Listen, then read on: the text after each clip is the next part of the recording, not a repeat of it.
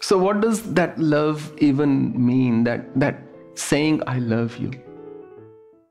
If I am okay to put my interest before the other person, if I'm okay to care about myself, if I'm okay for the other person to struggle and uh, gasp, and all I want is my comfort, is it love?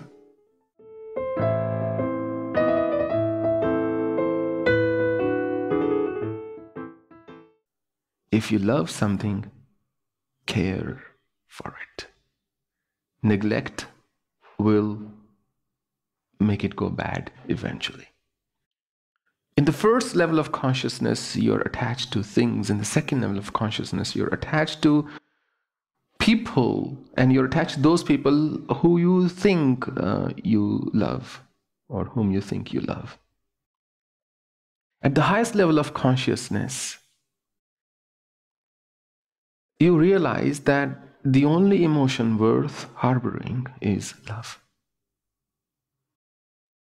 That if there was, if these 10 emotions or aspects of human existence, if they were like stains on a cloth, the only detergent that would wash them all is love.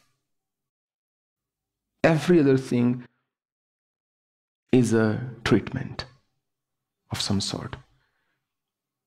It's so incredibly powerful, love, that it's the only way to transform somebody. I mean, temporary transformation can be handled with a stick, but love is the only emotion that you can have if you want to bring about lasting transformation in anyone at all.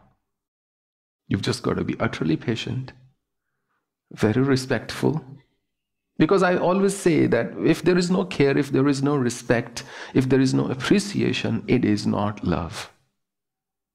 What does it even mean when people say, I love you? What does that mean?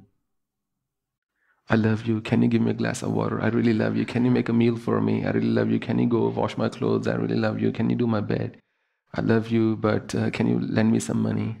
I love you, your dad is, is bad. I love you, but your mother, she gives me the shits. And things like that. What does that mean, I love you? And uh, in today's post, I've quoted this uh, Finnish book called uh, Sishu, or whatever it's supposed to pronounce, pronounced as. There they make very beautiful point in that book. They say that the Finnish are, uh, uh, apparently it's the happiest country in the world now. Earlier it used to be Denmark but I think too much dairy did no good to them. so the, uh, those the Finnish guys I, I read in that book, they are very frugal with their words, which means you are you tend to be more sincere with your words. Today, I mean, husband and wife in every phone call they say, "I love you, honey, love you, honey." In every email, say, "Love you, love you." right? In every SMS, they'll make those hearts and things. I love you and love you. I mean, women do that more than men. Uh, so, but what does that mean? That means it's we've merely turned it into an expression. This couple was walking down the road. They were a little elderly, and um, and they see another young couple passionately kissing, and the wife goes, "Why don't you ever do that?" He says, Honey, I don't even know that woman. How can I do that? So, what does that love even mean? That, that saying, I love you. If I am okay to put my interest before the other person, if I'm okay to care about myself, if I'm okay for the other person to struggle and uh, gasp, and all I want is my comfort, is it love? I don't think so. There were these devotees in ISKCON in Sydney that migrated from England, and they, one of them used to, to tell me, there were two sisters, one of them used to say that her husband, she said, whenever we go out, And he always says, uh, Oh, you know, my back hurts. Can you sleep on the floor and I can sleep on the bed? That's a man. What kind of a eunuch will do something like this? In if it doesn't give you courage, it's not love. Because love makes you strong. It makes you stronger, not weaker. And that is the key difference between love and attachment. Attachment makes you weak, and love makes you strong. This husband said to his wife, I just recall, he said, Honey, you know that you're my strength, right? I really love you, and you are my strength. Oh, so she said, uh, Are you telling me other women are your weakness? no offense, but a woman's mind can be like that. She can think whatever she likes, she has that luxury. anyway, so attachment weakens you, but love strengthens you. If you feel more courageous, if you feel like more settled, you are in love. If you feel restless, if you feel unsettled, you have either a strong infatuation or you just have uh, attachment, deep attachment that you're mistaking for love. Love is supposed to stabilize you.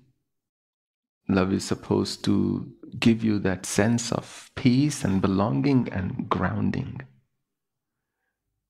And when there is love, it's pretty much a synonym of liberation.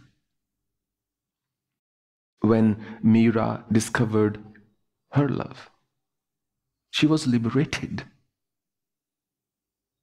When Chaitanya Mahaprabhu discovered his, he was liberated. When Ramakrishna Paramhansa discovered his love, he was liberated. When Christ discovered his, he was liberated. Love is emancipation.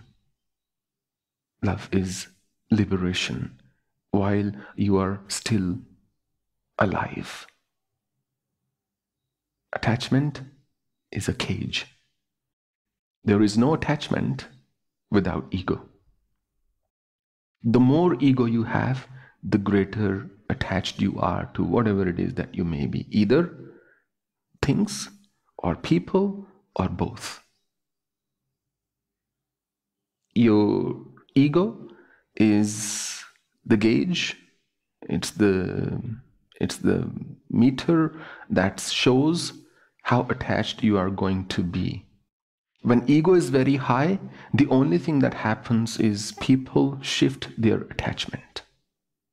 The attachment never goes away, it only changes its focus.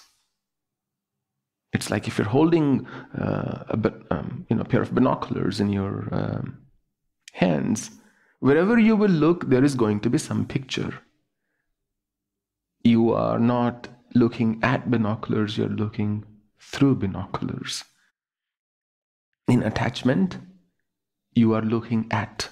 If you're attached to even your guru, you're looking at guru, at your guru, at the guru. But if you are sincere about your path, you're looking through your guru. You're trying to see the world through his or her eyes. So, whenever you feel you're in love, ask yourself Am I settled? Am I at peace?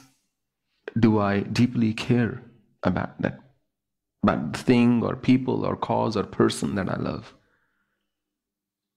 And life then feels very complete.